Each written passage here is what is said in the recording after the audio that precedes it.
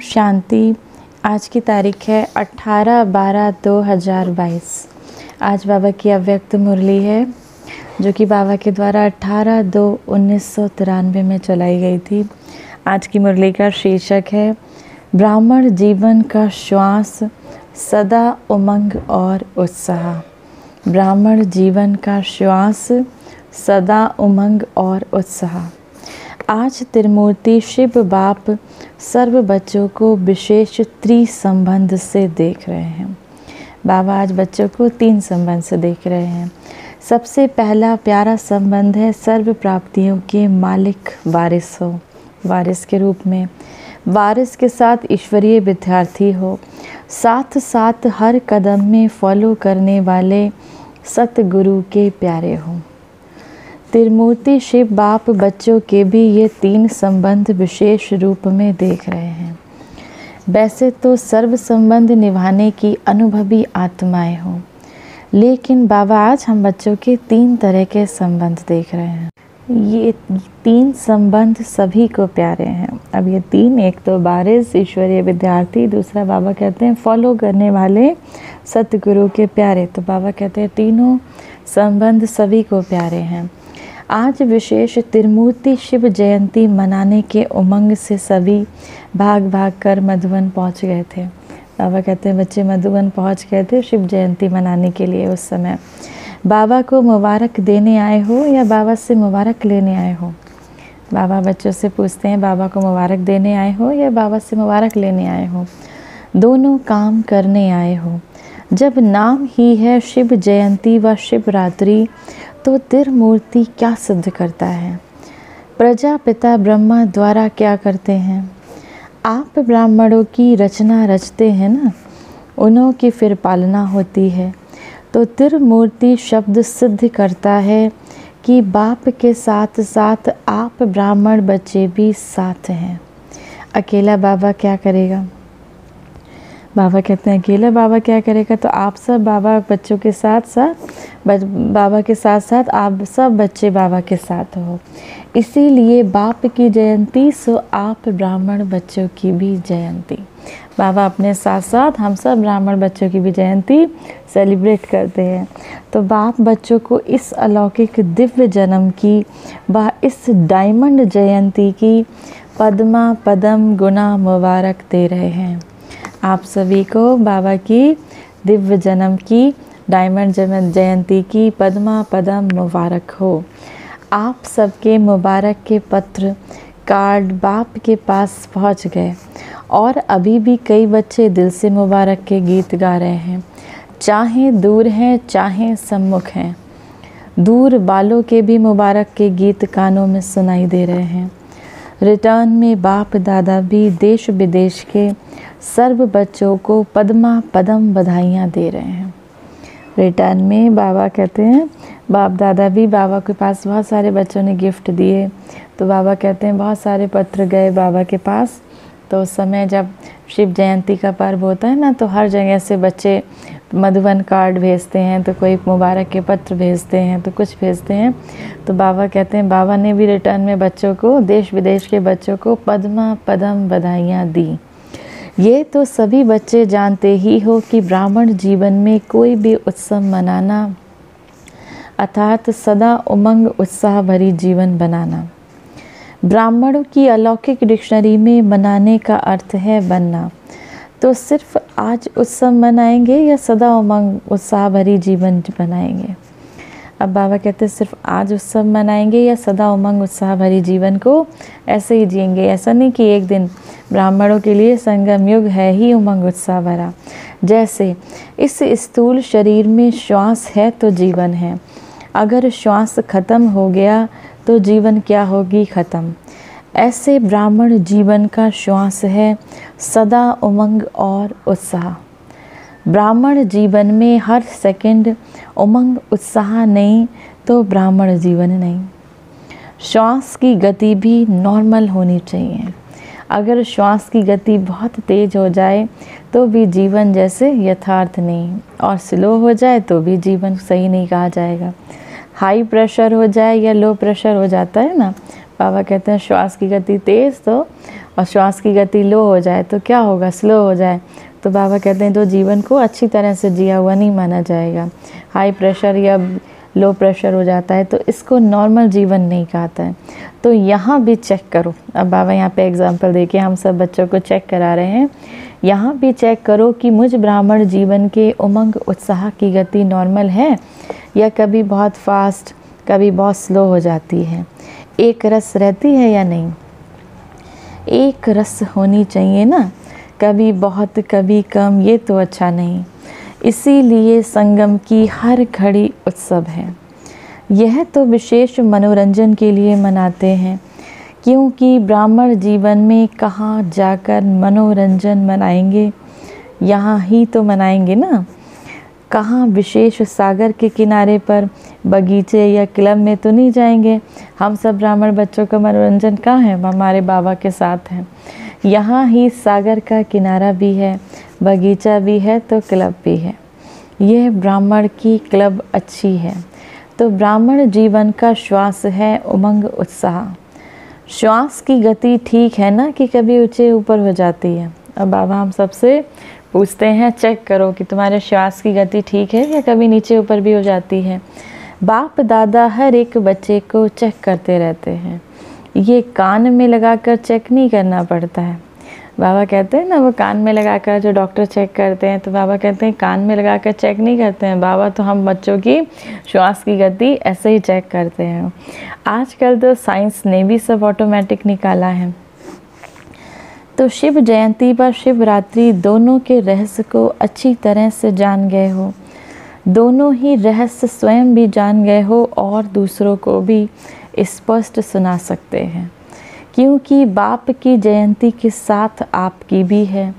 अपने बर्थडे, अपने जन्मदिन का रहस्य तो सुना सकते हो ना?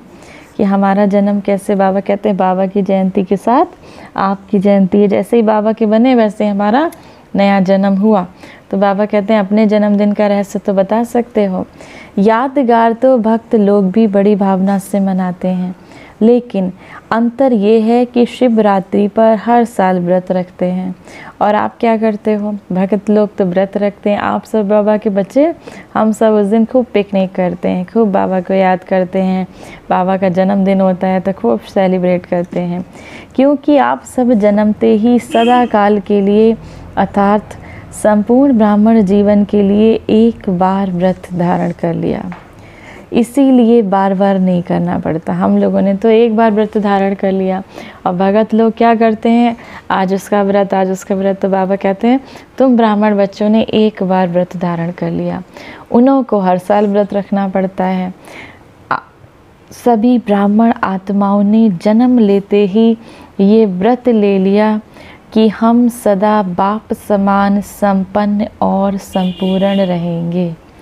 आप सब ब्राह्मण बच्चों ने व्रत लिया, लेना है और हर दिन लेना है कि हम सदा बाप समान, संपन्न और संपूर्ण रहेंगे। ये पक्का व्रत लिया है या थोड़ा कच्चा? जब आत्मा और परम आत्मा का संबंध अविनाशी है तो व्रत भी अविनाशी है ना? दुनिया वाले सिर्फ़ खान पान का व्रत रखते हैं। इससे भी क्या सिद्ध होता है? आपने ब्राह्मण जीवन में सदा के लिए खान पान का भी व्रत लिया है कि ये फ्री है खाना पाना जो भी चाहे खा लो। बाबा कहते हैं, आपने ब्राह्मण जीवन में खान पान का व्रत लिया है कि ऐसा तो नहीं, कुछ भी खा लो। पक्का व्रत है ना? कभी कभी थक जाओ तो व्रत तोड़ दो। कभी टाइम नहीं मिला तो क्या बनाएँ, कुछ भी मंगा कर खा लें, ऐसा तो नहीं है। थोड़ा थोड़ा ढीला करते हो। देखो, आपके भक्त व्रत रख रहे हैं। चाहे साल में एक बार भी व्रत रखते हैं, लेकिन मर्यादा को पालन तो कर रहे हैं ना? तो जब आपके भक्त व्रत में पक्के हैं तो आप कितने पक्के हो? पक्के हो? बाबा, हम सब बच्चों से पूछ रहे हैं, ऐसा तो नहीं कि कभी कुछ मंगा के खा लिया या कभी बाहर का खा लिया। जो बाबा की श्रीमत है, उस पर चलते हैं ना सब बच्चे। तो बाबा पूछते हैं, आप सब पक्के हो ना? कभी कभी थोड़ा ढीला कर देते हो तो चलो। कल भोग लगा देंगे, आज नहीं लगाते। ये भी आप ब्राह्मण आत्माओं के जीवन के, बेहद के, व्रत के यादगार बने हुए हैं। ऐसा तो नहीं बाबा पूछते हैं कि बाबा को बिना भोग लगाए कुछ खा लेते हो? कि आज नहीं लगाया तो कल लगा लेंगे? ऐसा तो नहीं करते हो? तो बाबा कहते हैं, ये भी आप ब्राह्मण आत्माओं के, जीवन के बेहद के, व्रत के यादगार बने हुए हैं। विशेष इस दिन पवित्रता का भी व्रत रखते हैं। एक पवित्रता का व्रत रखते हैं, दूसरा खान पान का व्रत रखते हैं। तीसरा सारा दिन किसी भी को भी किसी प्रकार का दुख या धोखा नहीं देंगे, ये भी व्रत रखते हैं। लेकिन आपका इस ब्राह्मण जीवन का व्रत बेहद का है। उन्हों का तो एक दिन का है पवित्रता का व्रत तो ब्राह्मण जन्म से ही धारण कर लिया है ना? अब बाबा पूछते हैं, वो तो पवित्रता का व्रत एक दिन के लिए रहते हैं। लेकिन हम ब्राह्मण बच्चे जैसे ही बाबा के बने तो बाबा कहते हैं, ब्राह्मण जन्म लेते ही धारण कर लिया है ना? बाबा बच्चों से पूछते हैं। सिर्फ़ ब्रह्मचर्य नहीं, लेकिन पाँचों ही विकारों पर विजय हो, इसको कहते हैं पवित्रता का व्रत। सिर्फ़ ब्रह्मचर्य ही नहीं, बाबा कहते हैं पाँचों विकारों, काम पर, क्रोध पर, मोह, लोभ, अहंकार, इस सब पर जब आप विजय प्राप्त करते हो, इसको कहते हैं पवित्रता का व्रत। तो सोचो कि पवित्रता के व्रत में कहाँ तक सफल हुए हैं। जैसे, ब्रह्मचर्य अर्थात काम महाशत्रु को जीतने के लिए विशेष अटेंशन में रहते हो। ऐसे ही और भी चार साथी जो काम महाशत्रु के हैं, उनका भी इतना ही अटेंशन रहता है ना, कि उसके लिए छुट्टी है कि थोड़ा थोड़ा भल क्रोध कर लो। छुट्टी है नहीं, लेकिन आपने अपने आप को छुट्टी दे दी है।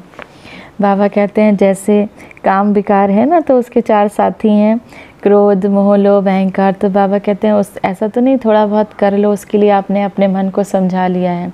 कि काम पर विजय प्राप्त कर ली, लेकिन थोड़ा क्रोध तो कर सकते हैं। तो बाबा कहते हैं, इसकी भी छुट्टी नहीं है, क्रोध की भी छुट्टी नहीं है, लेकिन आप अपने आप को छुट्टी दे देते हो। देखा गया है कि क्रोध के बाल बच्चे जो हैं, उनको छुट्टी दे दी है। क्रोध महाभूत को तो भगाया है, लेकिन उसके जो बाल बच्चे हैं, उनसे थोड़ी प्रीत अभी भी रखी है। जैसे छोटे बच्चे बहुत अच्छे लगते हैं।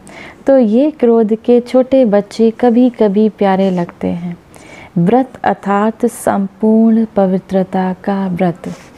कई बच्चे बहुत अच्छी अच्छी बातें सुनाते हैं। कहते हैं, क्रोध आया नहीं, लेकिन क्रोध दिलाया गया। तो क्या करें? कहते हैं ना, क्रोध आया नहीं बाबा, लेकिन किसी ने हमको क्रोध दिला दिया। मेरे को नहीं आया, लेकिन दूसरा दिलाता है। तो बहुत मज़े की बातें करते हैं। कहते हैं, आप भी बाबा उस समय होते तो आपको भी आ जाता। हमारी जगह पे बाबा, आप आकर देखो तो आपको भी क्रोध आ जाता। तो बाप दादा क्या कहेंगे? बाप दादा भी कहते हैं अच्छा तुमको माफ़ कर दिया। बाबा कितने प्यार से हमको ये सब बातें समझाते हैं। बाबा क्या कहते हैं? बच्चों से बाबा ना, हमारा पिता है। परमात्मा है, वो सब बच्चों को बहुत अच्छी रीति जानता है। तो बाबा क्या कहते हैं अच्छा हमने तुमको माफ़ कर दिया। बच्चे अपनी सफ़ाई जब देते हैं ना तो बाबा भी हमसे क्या कहता है अच्छा ठीक है, हमने आपको माफ़ कर दिया, लेकिन आगे फिर नहीं करना। फिर बाबा यहाँ पे कहता है, लेकिन आगे फिर इस गलती को नहीं करना। शिवरात्रि का अर्थ ही है अंधकार मिटाए प्रकाश लेने वाली रात्रि। मास्टर ज्ञान सूर्य प्रकट होना यह है शिवरात्रि। आप भी मास्टर ज्ञान सूर्य बन विश्व में अंधकार को मिटाए रोशनी देने वाले हो। जो विश्व को रोशनी देने वाला है, वह स्वयं क्या होगा? स्वयं अंधकार में तो नहीं होगा ना? दीपक के माफिक तो नहीं हो? बाबा कहते हैं, दीपक के माफिक तो नहीं हो कि दीपक के नीचे अंधियारा होता है, ऊपर रोशनी होती है। आप मास्टर ज्ञान सूर्य हो। आप कौन हो? मास्टर ज्ञान सूर्य हो। तो मास्टर ज्ञान सूर्य स्वयं भी प्रकाश स्वरूप हैं लाइट माइट रूप हैं, और दूसरों को भी लाइट माइट देने वाले हैं। जहाँ सदा रोशनी होती है, वहाँ अंधकार का सवाल ही नहीं। अंधकार हो ही नहीं सकता। तो संपूर्ण पवित्रता अर्थार्थ रोशनी। अंधकार मिटाने वाली आत्माओं के पास अंधकार रह नहीं सकता। रह सकता है। आ सकता है। बाबा बच्चों से पूछते क्या जो खुद अंधकार मिटाने वाली आत्माएँ हैं, उनके पास तो अंधकार रह नहीं सकता। चलो, रहे नहीं, लेकिन आकर चला जाए, ये हो सकता है क्या? अगर किसी भी बेकार का अंश है तो उसको रोशनी कहेंगे या अंधकार कहेंगे? अगर थोड़ा सा भी बेकार का अंश है तो बाबा कहते हैं उसको रोशनी कहेंगे या अंधकार कहेंगे। अंधकार ख़त्म हो गया है ना? शिवरात्रि का चित्र भी दिखाते हो। उसमें क्या दिखाते हो? अंधकार भाग रहा है कि थोड़ा थोड़ा रह गया। इस शिवरात्रि पर विशेष क्या करेंगे? कुछ करेंगे या सिर्फ़ झंडा लहराएँगे? जैसे, सदा प्रतिज्ञा करते हो, हम ये नहीं करेंगे, ये नहीं करेंगे, और फिर करेंगे भी। ऐसा तो नहीं। पहले भी सुनाया है कि प्रतिज्ञा का अर्थ ही है, जान चली जाए, लेकिन प्रतिज्ञा ना जाए। बाबा ने पहले भी हमको सुनाया है कि प्रतिज्ञा का अर्थ क्या है, दृढ़ प्रतिज्ञा का अर्थ क्या है? जान चली जाए, लेकिन प्रतिज्ञा ना जाए। कुछ भी त्याग करना पड़े, कुछ भी सुनाना पड़े, लेकिन प्रतिज्ञा ना जाए। बाबा कहते हैं, कुछ भी त्याग करना पड़े, भल कोई आपको कितना सुनाए, लेकिन आपकी प्रतिज्ञा ना जाए। ऐसा नहीं कि जब कोई समस्या आ गई, तब तक तो प्रतिज्ञा ठीक है। अगर कोई समस्या आ गई तो समस्या शक्तिशाली हो जाए और प्रतिज्ञा उसके आगे कमज़ोर हो जाए, ऐसा नहीं। इसको प्रतिज्ञा नहीं कहा जाता। बचन अर्थार्थ बचन। तो ऐसे प्रतिज्ञा मन से करें, कहने से नहीं। बाबा ने कहा ना मस्तक पर लिख लेना है। कहने से करने वाले उस समय तो शक्तिशाली संकल्प करते हैं। कहने से करने वाले में शक्ति तो रहती है, लेकिन सर्व शक्तियाँ नहीं रहती। जब मन से प्रतिज्ञा करते हो, और किससे प्रतिज्ञा की? बाप से। तो बाप से मन से प्रतिज्ञा करना अर्थात मन को मन बना भव भी बनाना और मन मना भव का मंत्र सदा किसी भी परिस्थिति में यत्र बन जाता है। लेकिन मन से करने से ये होगा, मन में आए कि मुझे ये करना नहीं है। अगर मन में ये संकल्प होता है कि कोशिश करेंगे, करना तो है ही, बनता तो है ही ऐसे नहीं करेंगे तो क्या होगा? क्या करेंगे? इसीलिए कर लो। इसको कहा जाता है थोड़ी थोड़ी मजबूरी। बाबा कहते हैं, क्या आता है? मन में ऐसा करेंगे, वैसा करेंगे। जब ये सोच लेते हो तो उसको कहा जाता है थोड़ी थोड़ी मजबूरी। जो मन से प्रतिज्ञा करने वाला होगा, वह ये नहीं सोचेगा कि करना ही पड़ेगा। वह ये सोचेगा कि बाप ने कहा और हुआ ही पड़ा है। निश्चय और सफलता में निश्चित होगा। यह है फ़र्स्ट नंबर की प्रतिज्ञा। सेकंड नंबर की प्रतिज्ञा है, बनना तो है, करना तो है ही। पता नहीं कब हो जाए। ये तो तो करना था तो तोता हो गया। ये तो तो करना था तो तोता हो गया। बाबा कहते कहते हो ना, करना तो है ही, बाबा पता नहीं कब करेंगे। तो बाबा कहते हैं, इसको तोता हो गया। बाप दादा के पास हर एक ने कितनी बार प्रतिज्ञा की? उसकी सारी फ़ाइल है। अब बाबा पूरा हिसाब रखें, हम सब बच्चों की क्या क्या प्रतिज्ञा की, बाबा आज से क्रोध नहीं करेंगे, बाबा आज से ऐसा नहीं करेंगे। तो बाबा ने ना हमारी सारी फ़ाइल बना के रखी हुई है। अब बाबा कहते हैं, सबकी फ़ाइल है। फ़ाइल तो बहुत बड़ी हो गई है। अभी फ़ाइल नहीं भरना है, फाइनल करना है। बाबा कहते हैं, फ़ाइल तो बहुत बड़ी हो गई है कि रोज़ प्रतिज्ञा करते हैं बच्चे और बीच बीच में थोड़ी मजबूरी आती है, कुछ परिस्थिति आती है तो प्रतिज्ञा टूट जाती है।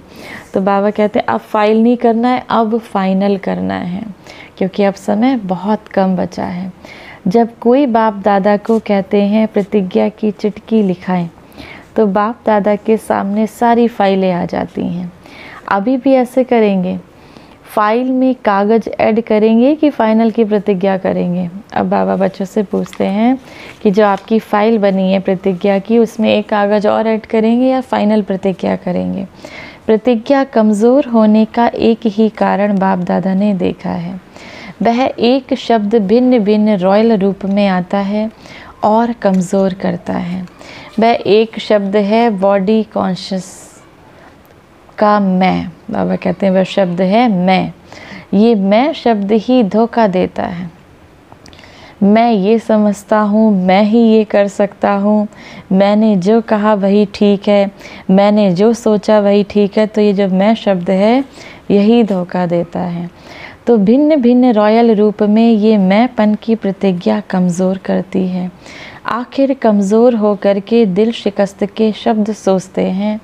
मैं इतना सहन नहीं कर सकता। अपने को एकदम निर्माण कर दूँ, इतना नहीं कर सकता। इतनी समस्याएँ पार नहीं कर सकते, मुश्किल है। ये मैंपन कमज़ोर करता है। बहुत अच्छे रॉयल रूप हैं। अपनी लाइफ में देखो, यही मैंपन संस्कार के रूप में, कभी स्वभाव के रूप में, कभी भाव के रूप में। कभी भावना के रूप में, कभी बोल के रूप में, संबंध संपर्क के रूप में और बहुत मीठे रूप में आता है। शिवरात्रि पर ये मैं मैं की बलि चढ़ जाती है। भगत विचारों ने तो बकरी के मैं मैं करने वालों की बकरी चढ़, बलि चढ़ाई है। अब भक्त होते हैं तो वो बकरी को चढ़ाते हैं ना बलि में। तो बाबा कहते हैं, भगत विचारों ने तो बकरी के मैं मैं करने वालों की बकरी चढ़, बलि चढ़ाई। लेकिन है ये मैं मैं इसकी बलि चढ़ाओ कि मैं ऐसा कर सकता हूँ, मैं ही ऐसा हूँ। माना अहम की बलि चढ़ाओ। यादगार तो आप लोगों का और रूप में मना रहे हैं। बलि बढ़ चढ़ चुके हैं या अभी थोड़ी मैंपन की बलि रह गई है। अब बाबा बच्चों से पूछते हैं कि आप सब बलि चढ़ चुके हो, माना ये मैंपन हटा चुके हो बॉडी कॉन्शियसनेस में तो नहीं रहते, अभी अपने को आत्मा निश्चित किया कि मैं आत्मा हूँ, कि अभी भी अपने को देह देखते हो, या देह के लगावों में अभी भी अटके रहते हो तो इस मैंपन की बलि चढ़ाई है या नहीं चढ़ाई है, बाबा बच्चों से पूछते हैं। इसका क्या रिज़ल्ट है? प्रतिज्ञा करनी है तो संपूर्ण प्रतिज्ञा करो। जब बाबा से प्यार है तो प्यार में तो सब पास हैं। कोई कहेगा, बाप से पचहत्तर परसेंट प्यार है, पचास परसेंट प्यार है। प्यार के लिए ही सब कहेंगे, हंड्रेड परसेंट से ज़्यादा प्यार है। बाप भी कहते हैं कि सभी प्यार करने वाले हैं, इसमें पास हैं।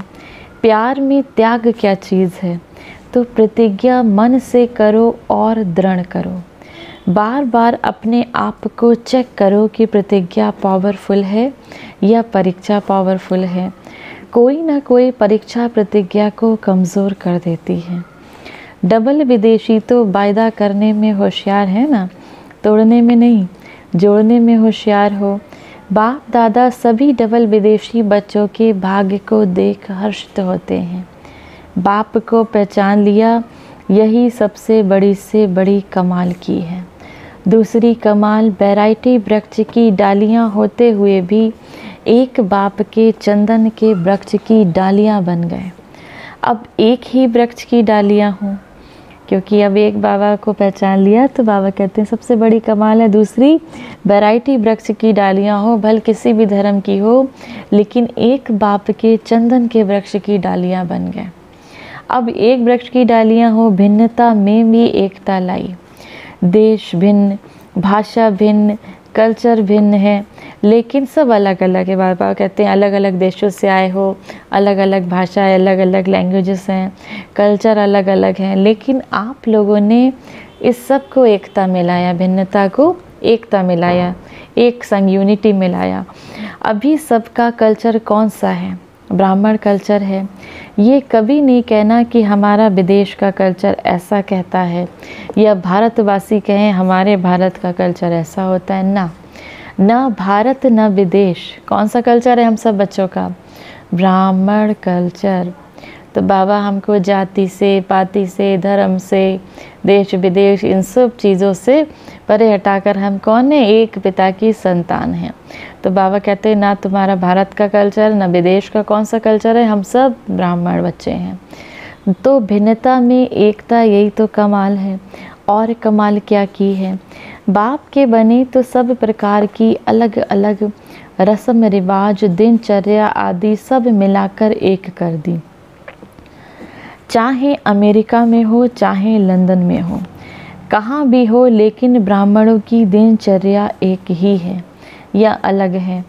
विदेश की दिनचर्या अलग हो, भारत की अलग हो नहीं, सबकी एक है। तो ये भिन्नता का त्याग, यह कमाल है। तो बाबा कहते हैं, समझा आप क्या क्या कमाल की है? जैसे आप बाप के लिए गाते हो ना, कि बाबा ने कमाल कर दी। बाबा फिर बच्चों के लिए गाते हैं कि बच्चों ने भी कमाल कर दी। कितनी बच्चों में एकता है, कितना प्यार से बाबा जब अपने बच्चों को देखता है कि कितने प्यार से भल देश विदेश के, भल किस अलग धर्मों के भी हो, भल अलग जाति पाति के हों, लेकिन हम सब ब्राह्मण बच्चे अपने आप कितना प्यार से एक दूसरे से मिलते हैं तो बाबा कहते हैं, भल बाप जैसे आप बाबा से कहते हो ना, बाबा आपने कमाल कर दी, ऐसे ही बाबा भी हम बच्चों की कमाल के गीत गाते हैं। बाप दादा देख रेख हर्षित होते हैं, बहुत हर्षित होते हैं बाबा देख देख कर बाप हर्षित होते हैं और बच्चे खुशी में डांस करते हैं, नाचते हैं। सेवा भी चारों ओर विदेश की, देश की सुनते रहते हैं। दोनों ही सेवा में रेस कर रहे हैं। प्रोग्राम्स सभी अच्छे हुए हैं और आगे भी होते रहेंगे। यह दृढ़ संकल्प यूज़ किया अर्थार्थ सफल किया। जितना दृढ़ संकल्प को सफल करते जाएँगे, उतनी सहज सफलता अनुभव करते जाएँगे। कभी ये नहीं सोचो कि ये कैसे होगा, कैसे के बजाय सोचो कि ऐसे होगा। संगम पर विशेष वरदान ही है असंभव को संभव करना। तो कैसे शब्द आ ही नहीं सकता? यह होना मुश्किल है नहीं। निश्चय रखकर चलो कि यह हुआ पड़ा है। सिर्फ़ प्रैक्टिकल में लाना है। यह रिपीट होना है, बना हुआ है, बने हुए को बनाना, अर्थात रिपीट करना।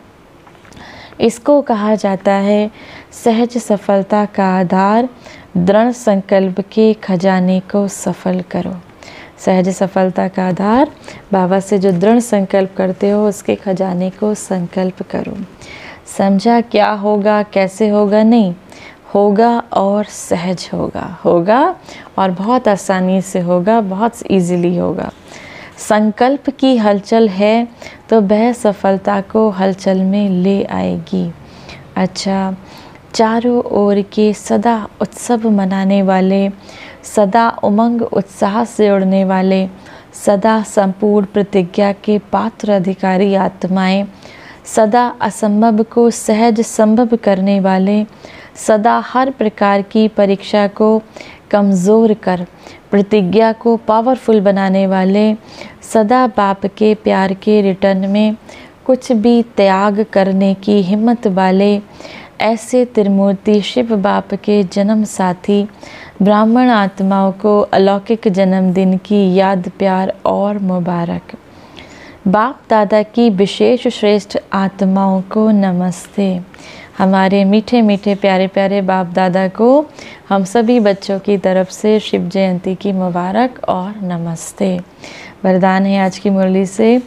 ज्ञान, गुण और शक्तियों रूपी खजाने द्वारा संपन्नता का अनुभव करने वाले संपत्ति बानुभव जिन बच्चों के पास ज्ञान, गुण और शक्तियों का खजाना है, वे सदा संपन्न अर्थात संतुष्ट रहते हैं।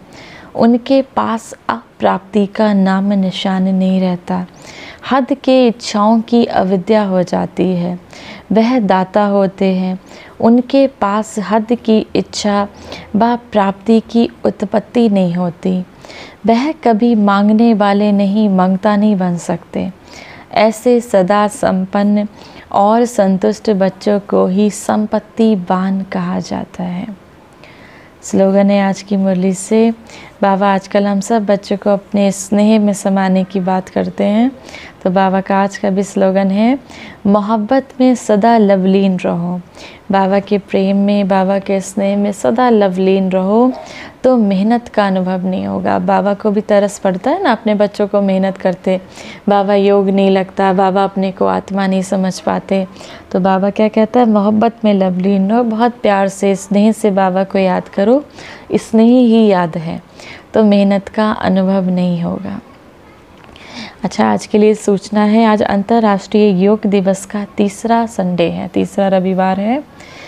शाम को साढ़े छः से साढ़े सात बजे तक सभी भाई बहन योग अभ्यास में सर्व आत्माओं के प्रति यही शुभ भावना रखें कि सर्व आत्माओं का कल्याण हो।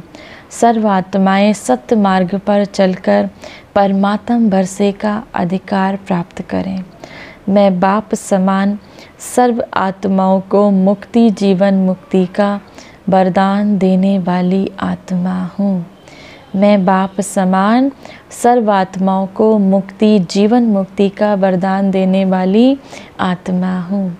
अच्छा ओम शांति।